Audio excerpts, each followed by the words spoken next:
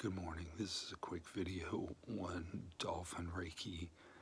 Um, I've had a video from the shore for quite a while on some dolphins swimming out in the ocean.